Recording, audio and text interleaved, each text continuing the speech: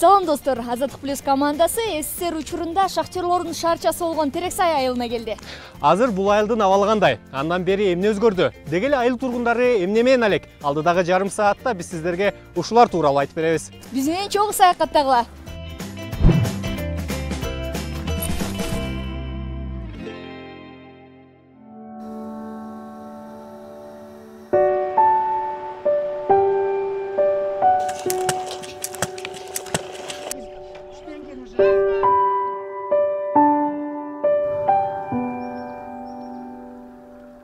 Терексай айылы чаткал районунун борборунан жүз он чакырым алыс жерде жайгашкан азыр айылда беш миң үч жүз он бир адам жашайт айыл аксакалдары кыштак бир миң тогуз жүз отуз алтынчы жылы түптөлгөн деп эскеришет ал эки тоонун ортосунда жайгашкандыктан дыйканчылык кылып же мал багууга ыңгайсыз ошондуктан шахтерлордун мекени аталган терексайлыктардын токсон пайызы өндүрүштө эмгектенет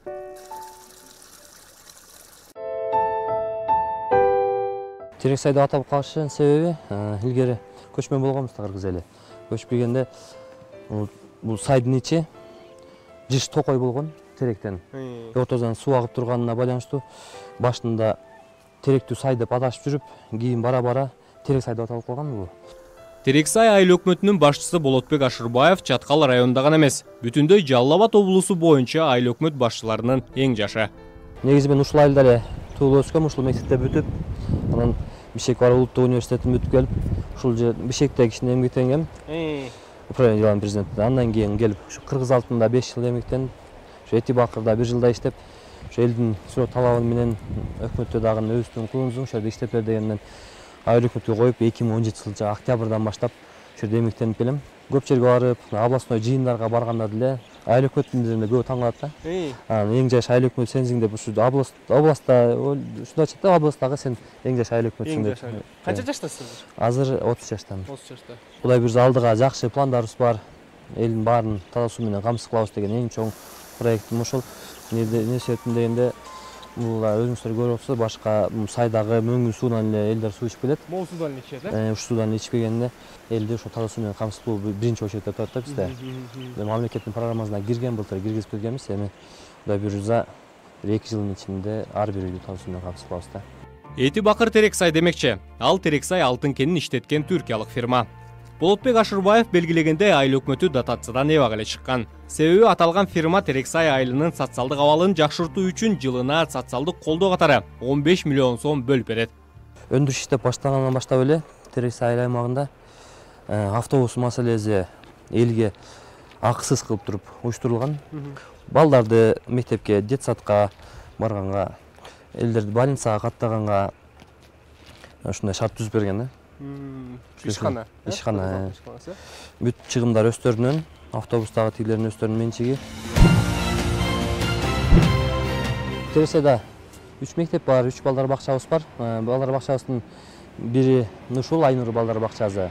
Бул имарат былтыр бүтүп хуасин компаниясы тарабынан салынып отуз эки миллионго. Ичинде эмеректерин эки жарым миллионго алып бүгүнкү күндө ишке бергенбиз. Жүз орундуу типтүү балдар бакчасы. Кичи футбол аянтчасын салганбыз эки миллион эки жүзгө. Быйыл кудай буюрса реконструкция кылып үстүн жаап крытый кылабыз деген чоң үмүтүбүз бар. Негизинде жаштардын талабы көп кайрылуулар менен келет. Ушуну кышында да ойнозобок деп. Бизде өзүбүздү өзүбүз камсыздаган үчүн акысыз элге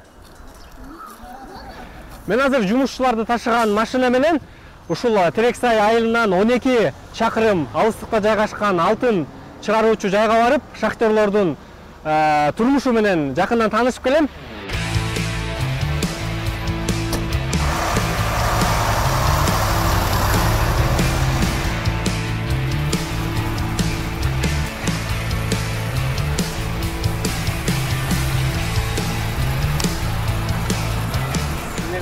жерди ушу анау жердин алдын иштеген шахтерлар ташыйбыз эки смена эртең менен алтыда башталат жумуш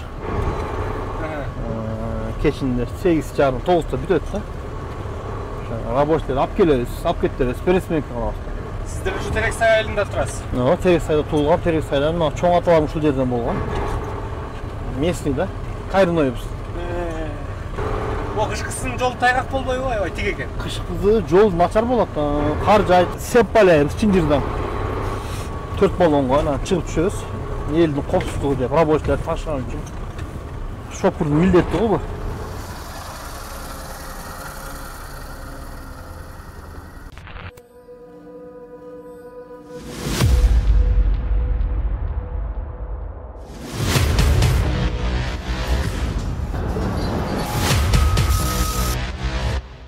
достор мен азыр жогоруда сөз кылган алтын казуучу жайга келип жеттик. Э, бизди алмаз байке тосуп алды. Алмаз байке сиз э, канча жылдан бери ушул жер алдында алтын казып иштейсиз? Мен өзүм буюрса он беш жылдан бери шахтада иштейм жер астында. Э, менин ата энелерим алар деле ушу ушул окууну бүткөндө эле келген Ка- канчанчы жылдары. Ошо менен алар деле шахта шахта иштеген и менин атамдын кесибин болуп мен деле шахтада иштеп атам ушул убакка чейин. Кудайга шүгүр эле азыр эми ушу канча шахтер иштейт ушу жер алдында? Азыр ушул учурда жыйырма беш адам бар шахтада иштешет. Баардыгы эле ушу терек терек сай айылынын тургундары? Баардыгы терес айылынын тургандары э. Алардын деле ата энелери шахтада иштеп жүргөн балдар деле иштеп атат. Эми терек сай шахта менен гана өсөт экен ошондуктан бүт эле биздин спец ушундай болот шахтада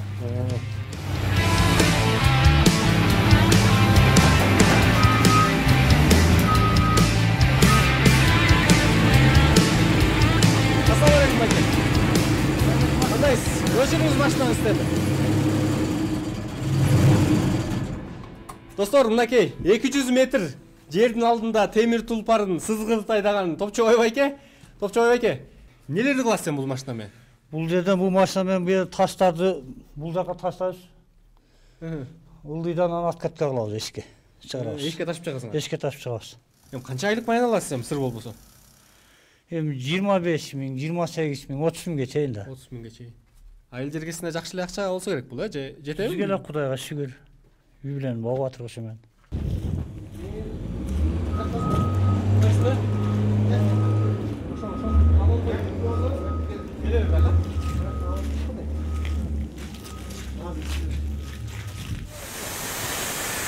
кандайсыздар байкелер жакшысыздарбы ишилгери болсун иш кызуу жүрүп аткан экен эмне кылып атасыздар байке Мен бу жерде горно рабочий болуп иштейм. Э, Айлыгым 18 миң. Э, 12 сааттан иштейбиз. Биз кеткенден кийин башкасы менен келип иштешет. ушундай экиден чакан чакан эле болуп иштейсиңерби Азыр 2-3 топ бар, ошо ара жерде иштейбиз, блок блокто.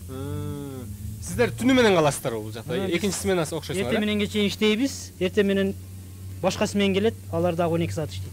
бул жерде жалпысынан 25 шахтер эмгектенет бирок биз төрт адам менен гана маектештик иш убактысы бүткөндүгүнө байланыштуу жумушчулардын көбү үйүнө кетишкен экен ушул шахтерлор кең казылган шахтанын ичи кышында 30-35 градуска чейин суук болгонуна карабастан тынбай иштешет.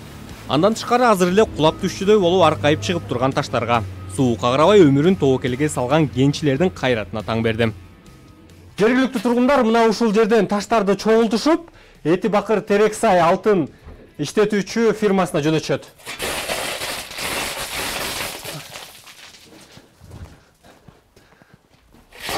Бизде антип салым кошколу бирок негизи могу аппарат менен салышат да.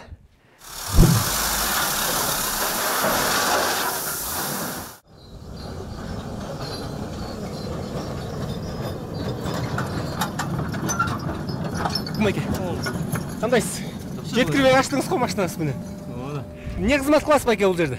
Руды алып чыгасыз, машинесіз кіріп бересіз. Машина деленді да. Ушуну айдайбыз. Канча жылдан бери иштейсиз 98 жылдан бeri. ушул сегиз жылдан бери ушу таштарды алып чыгасыз Ооба. ушу бир суткасына канча тонна таш алып чыгасыңар Эми болуп калса 200 тоннага чейин айдабыз, алып чыгабыз. 200 болбой калды дегенде бир 50 тонна, 100 тонна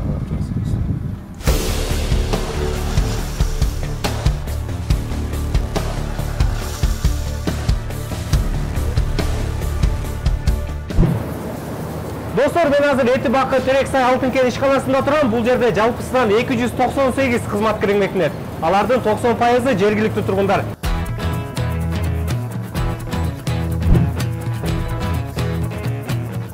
терексай шаарчасы илгери совет заманында бир миң тогуз жүз отузунчу жылдары изилдене баштаган кыркынчы жылдары геологиялык чалгындоо иштери башталган бул жердеги кендерде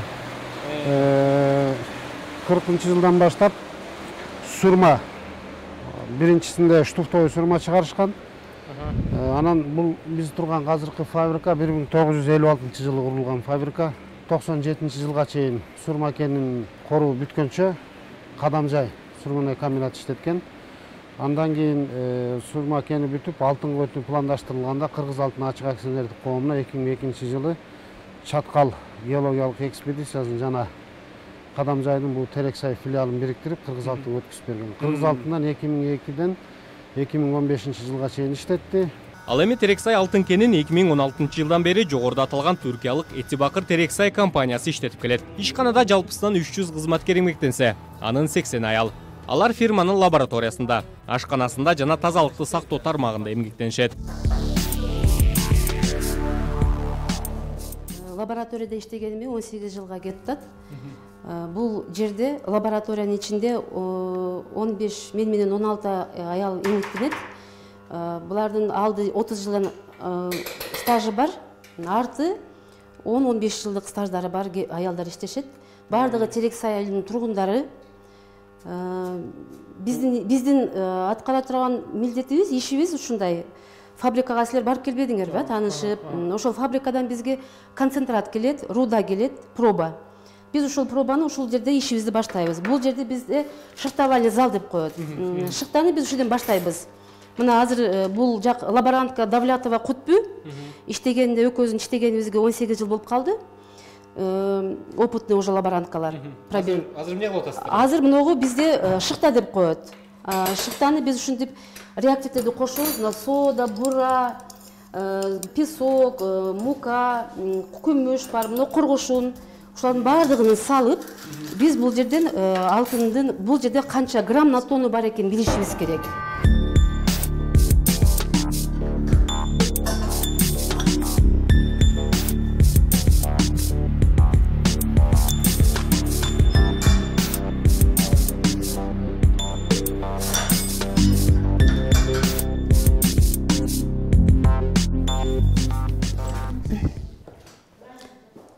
Мына бул жерибиз тараза кабинети тараза дегенибиз бул биз алтындарды тартабыз то есть биз тиги айтпадыкпы фабрикадан бизге концентрат рудалар келет депчи ошолорду грамм на тонну. Бир тоннада канча грамм алтын бар экенин биз аныктап беребиз бизге карап ошого карап алар иштешет ошондо бир сменада канча алтын чыгат эми бир сменада бизде үч смена бар. Мынакей эки мили алты жүз төрт микрон биз постоянно алтындарды кармап ушинтип иштейбиз айма колуңуздарда колубузда өзүбүздүн ооба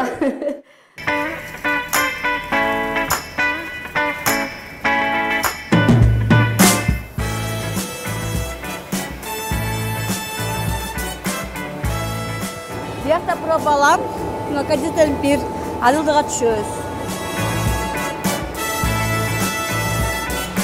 азыр биз плоточенийбиз плотность. Кондиционер бирди кондитер экинчи могу биринчи кондиционер бирди жанагы плотность чыкты да. Жуунага а? Бул кандай? Норма канча болушу керек? Ошо норма да.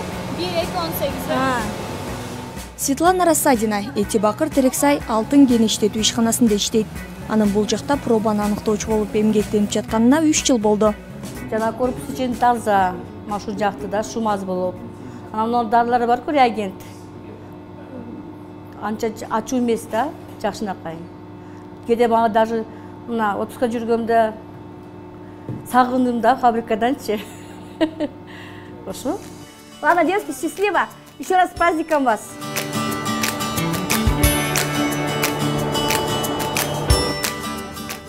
Саат чарчадык да жаным. Кантип чарчабайсың сегиз саат бутуна турасың жарым саат турасың ишин аяктаган светлана менен үйүнө кошо баратып иши жок иштеген кесиптештери айлык акысы жана айылдаштар ортосундагы мамиле тууралуу пикир алыштык. Кандай ишиңер оор эмеспи силерге мындай ден соолугуңарга кандай таасир этет? Зыян конечно. Зыянбы биякта вредность бар да. Вредность бар. Айлык акысычы кандай ошого жарашабы мурун айлык жакшы чыккан. Анан бир жолу эки жолу үчүнчү жолу запасок кылгандан кийин айлыгыбыз түшүп кетти да канча азыр орто эсепте жасак он беш миң да а мурун биз жыйырма жыйырма беш миң алганбыз да айлык маянаңар жетеби жашооңорго каяктан мен мисалы мисалы он бир миң алам булар он беш алса мен он бир миң алам а мен быйыл он биринчи класста балам бүтүрүүчү тогузунчу класста балам бүтүрүүчү беш жашар кызым бар садикте анан өзүм коркуп атат төлөп квартирада турам өзүмдүн үйүм жок шүгүр эми бирок кудай берерин умтпасын кандай эме мамиле кыласыңар эже менен света эже менен света эжең менен да азыр сосед болуп жашайм эч мындай сен орус сен кыргыз дебейбиз да өтө бир нерсе жок болсо может вдруг менде бир нерсе жок болсо бири бирибизге ошондой эле кошуна жакшынакай мамиле кылабыз айылдын салты менен айылдын салты менен да. Биз уже үйгө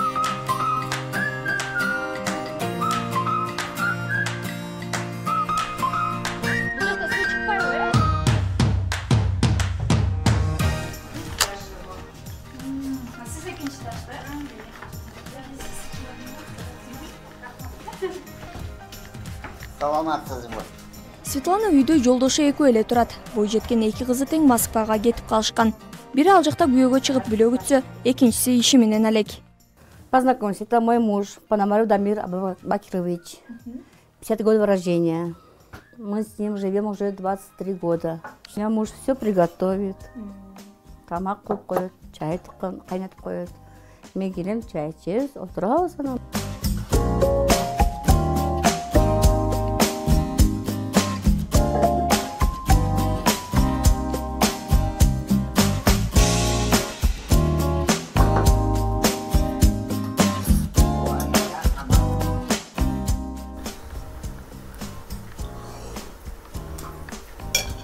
ну как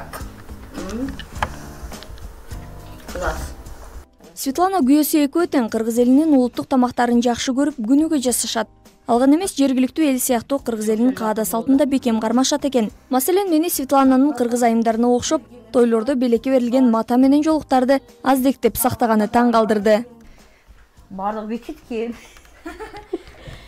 бизде эле бекитип коет мына эмне баардыгын чыгарайынбы сизде көп турбайбы дүйнөңүз мына баардыгы көйнөк материал билбак дагы материал бар. Как раз мен мастерим аял алганда мен бардым да. Лекин мага подарка берди бариница жана сахарница деген. Подарка белегени үчүнчү. Анан биз общий фабрика боюнча калпак билбак жанагы жолук салдык да аппазына анан келин балага жанагы мастерибизгачы ошо дамир пономарев терексайга он беш жашында айдаркенден көчүп келип азыр аялы экөө жашап жаткан үйдүн курулушунда ширетүүчү болуп ишин баштаган бул үйлөр ушунда канчанчы жылдары курулган алтымыш бешинчи бул курулган бул алтымыш алты алтымыш жетиде тигилер уже кийин кимдер жашайт эле эми мурун орустар мында көп жашады азыр эскилер калбады биз келген чаткалдан каравандан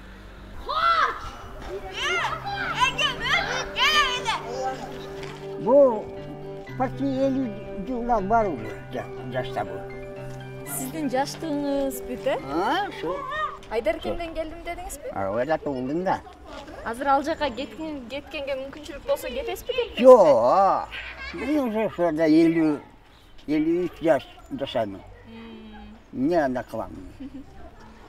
Ушу биз канасын фабриканы дарбанан кирип кетат фабриканы тоже курдук тогда жаш болдум армияга чейин Сиз биякта эмне менен алектеңиз бош убактыңызда коңшулар менен чыгып Ооба. сүйлөшөбүз сиз теңдүүлөр барбы? А? Сиз теңдүүлөр сиздин жаштагылар бир алып калды всего. Элүүнчү жылда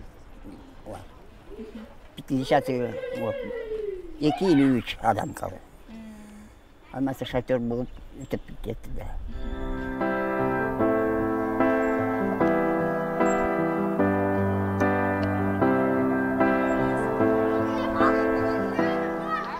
Пономаревдер тургандай эки кабаттуу үйлөрдө мурун суу да жалпы жылуулук да бар болгон экен. Азыр андай шарттар жоюлган менен кошуналар бир туугандай ынтымактуу да шаңдуу да жашашат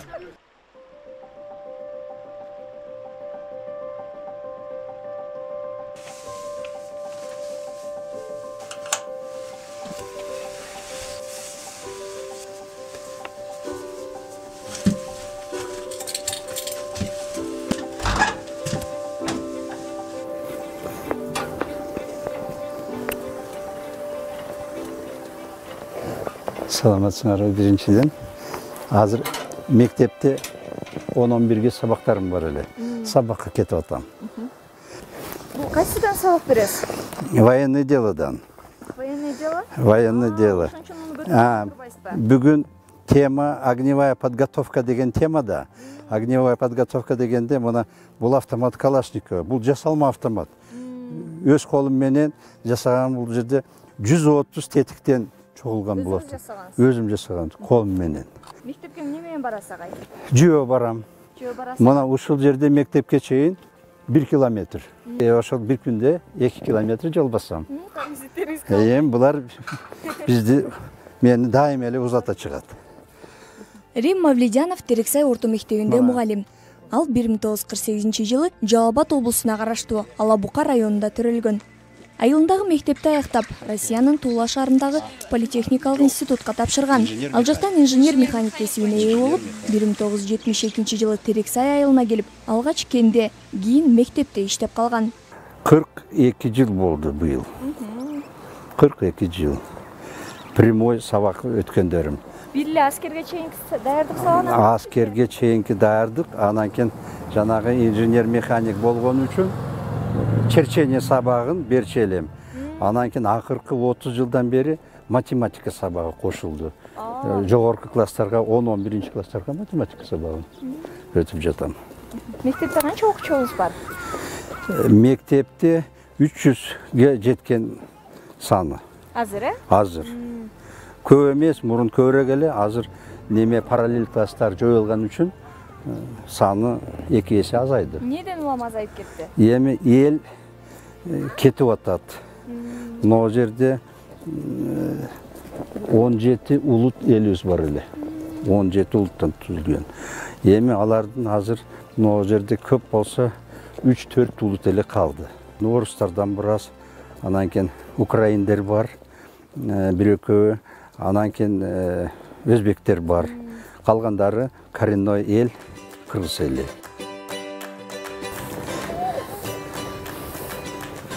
назира саламатсың кандайсың майрамдар куту болсун рахмат. Немелерди таза шифрлеп жатасыңбы салам. Жакшы жакшы болуптур а? Саламат бол чогуу иштейсиздерби агай А? бизде адабият мугалими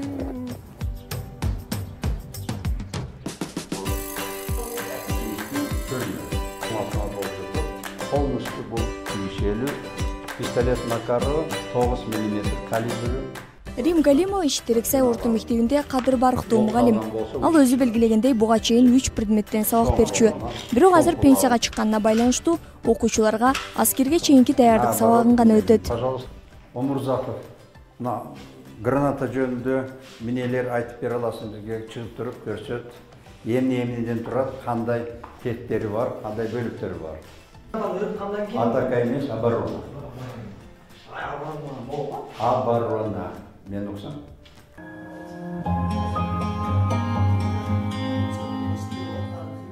эки эки жака параллель сабактар өтчү эле орус классына орусча орус тили менен китептерибиз деле орус тили менен э, эле. А кыргыз классына китептер кыргызча. Алар менен сабак өткөндө кыргызча өтчү башында бир аз кыйыныраак эле себеби именно терминдер бар да өзүнчө терминдер эми мен орусча бил- билсем деле кыргызча ошол терминдерди туура айтып туура үйрөнүп эмнечим керек эле эми мына бүгүнкү күндө жеттим кудайга шүкүр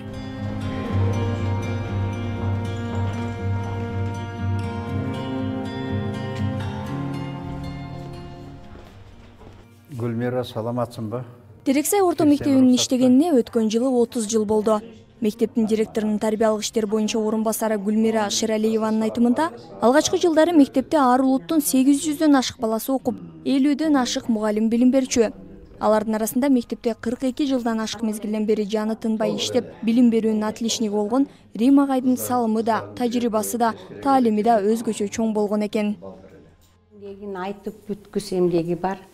Эмне себептен дегенде агай кандай кандай көптөгөн мыкты окуучуларды бүтүрдү. Ошондой эле жаш мугалимдерге насаатчылыкты аябай жакшы жүргүзүп келген агай э, башка улуттан болгон болсо дагы биз үчүн эмгегин такыр аяган эмес. Ушул айылыбыздагы эмгектенген кызматкерлердин көпчүлүгү агайдын окуучулары. Же болбосо агайдын мөмөсү деп айтып кетсек дагы болот. Бұл менің қызым ушул мектепти бүткөн ушул мектепте орыс классы болбогон үчүн кыргыз классына барып туруп кызыл аттестат менен бүтүп как раз бүткөндө муну директорубуз деле бар эле. Жалпы республикалык тестти кайсы тилде тапшырган? Тест кыргыз тилинде тапшырган. Кыргыз тилинде тапшырганбы эки жүз он баллга бул мектептин эң буга чейинки эмеси эң бийик көрсөткүч.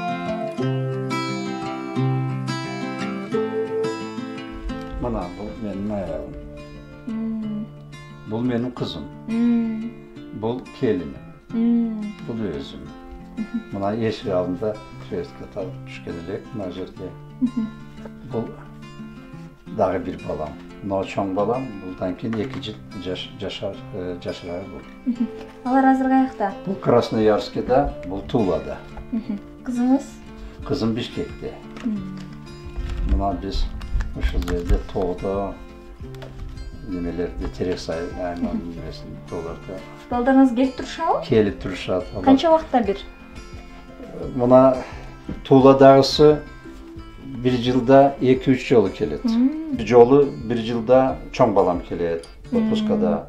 А кызым болсо тез тез мына өзүңөр жолду көрдүңөр ошол жол менен келип кабарлашып күн сайын кабарлашып турабыз кызым менен. Балдар менен скайп аркылуу сүйлөшүп кабарлашып канча небереңиз бар эки неберем бар эки неберем ошол чоң баламдыкы булардыкы пока жок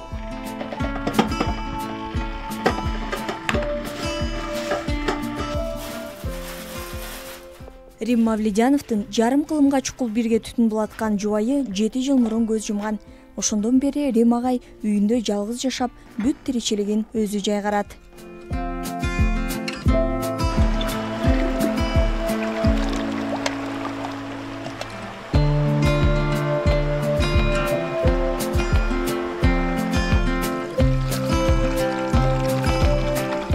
короосунда бактын миңден ашык түрү бар.